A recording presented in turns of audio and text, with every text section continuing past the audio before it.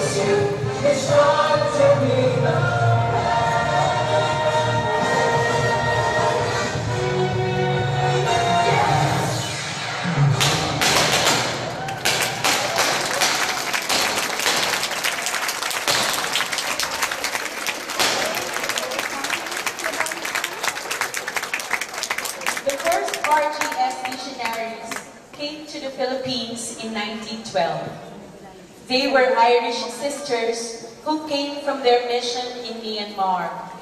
They crossed the seas for the young students who needed the shepherd's care through education in a Catholic school. They opened St. Bridget's Academy, now St. Bridget College, here in Batangas.